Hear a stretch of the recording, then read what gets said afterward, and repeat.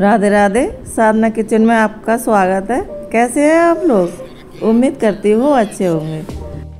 तो आज हम ग्वार की फरी की सब्ज़ी बनाएँगे, चटपटी मसालेदार।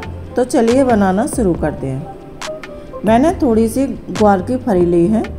इसको हम दोनों तरफ़ से काट देंगे और इसके छिलका को निकाल लेंगे हम। कच्ची है मेरी ग्वार की फरी और यह बहुत ही स्वादिष्ट बनती हैं। तो देखिए, मैंने दोनों तरफ़ से निकाल लिया है इसका डंठल और इसको छील लिया भी है। अब इसको हम क्या करेंगे? छोटे छोटे पीसों में हम इसको काट लेंगे। इससे क्या है कि हमारी सब्ज़ी बहुत ही टेस्टी बन के आए। आप छुरी से भी काट सकते हैं। मैं कैंची से काट रही हूँ। आप इसके छोटे छोटे और पीस कर सकते हैं और बड़े बड़े भी कर सकते हैं। मैंने इतना ही छोटा छोटा कर रही हूँ मैं। ये बहुत ही, आप यकीन मानिए यह बहुत ही स्वादिष्ट बनती है।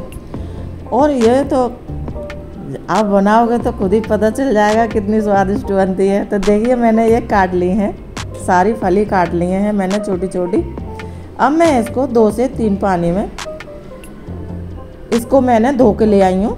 अब मैं इसको कुकर में डाल दूँगी और मुझे इसमें पानी डाल देना है। मुझे पानी इसमें इतना डालना है ये डूब जाए। थोड़ा पानी इसमें और डाल देंगे और इसका ढक्कन बंद करके मुझे इसमें एक सीटी लगा लेनी है। मुझे इसमें एक ही सीटी लगानी है, इसको उबालना है। आप एक बार अपने घर पर ज़रूर बनाएँ और हमें बताएँ आपके ग्वार की फरी कैसी बनी। तो देखिए, मेरी उबल चुकी हैं ये। अब मैं इसको चल्ली में निकाल दूँगी। इससे क्या है कि इसका सारा पानी निकल जाए। और मैं चल्ली को टेढ़ा कर दूँगी।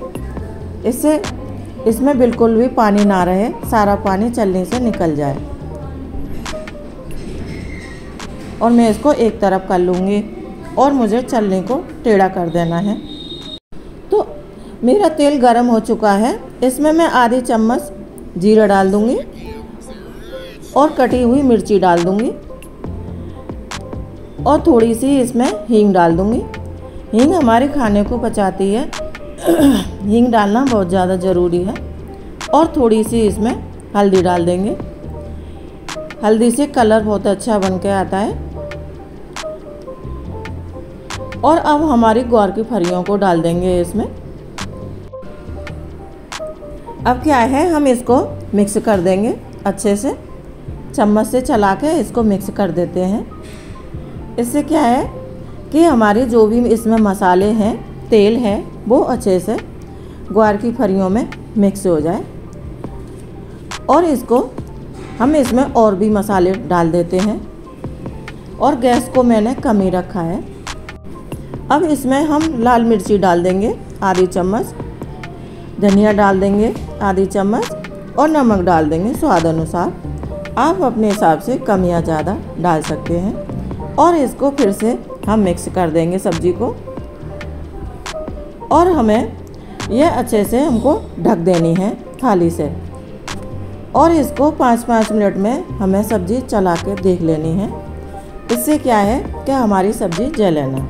आप यहाँ तक देख रहे हैं और आपने हमारी वीडियो को लाइक नहीं किया है तो लाइक करें और हमारे चैनल को सब्सक्राइब करें। और घंटी का बटन भी दबा दें। इससे क्या होगा? हमारे आने वाली वीडियो सबसे पहले आपके पास में पहुंचेगी। आप अपने दोस्तों और रिश्तेदारों के साथ शेयर करें। इससे वो भी इस रेसिपी का आनंद उठा सकें। आप में से ऐसे बहुत सारे हैं जो हमारी वीडियो देखते हैं, लेकिन चैनल को सब्सक्राइब नहीं करते हैं। तो आप ऐसा ना करें। आप हमारे चैनल को सब्सक्राइब करें। हम आपके लिए ऐसे ही हर रोज़ नई नई रेसिपी लाते रहेंगे।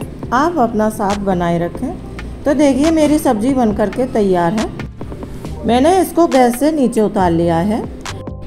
तो चलिए, इसमें बाकी के मसाले भी डाल देते हैं। मैंने थोड़ा सा किचन किंग डाल दिया है। इससे स्वाद बड़ा ही डबल हो जाता है। थोड़ा सा धनिया पत्ती डाल दी है। अब हम इसको फिर से मिक्स कर देंगे। मेरी सब्ज़ी बनने में ज़्यादा टाइम नहीं लगा है।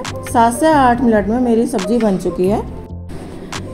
आपको हमारी सब्ज़ी कैसी लगी हमें कमेंट में बताना ना भूलें। मैं आपको प्लेट में निकाल के दिखाती हूँ। क्या बात है, मेरी सब्ज़ी बनकर तैयार है। आपको हमारी सब्ज़ी कैसी लगी हमें कमेंट में बताना ना भूलें। आपने अभी तक सब्सक्राइब नहीं किया है तो जल्दी से कर दें। हमारी इस रेसिपी के लिए एक लाइक तो बनता है। तो चलिए इसी के साथ हमारी वीडियो समाप्त होती है। आपसे मिलेंगे अगली वीडियो में। जय श्री राधे।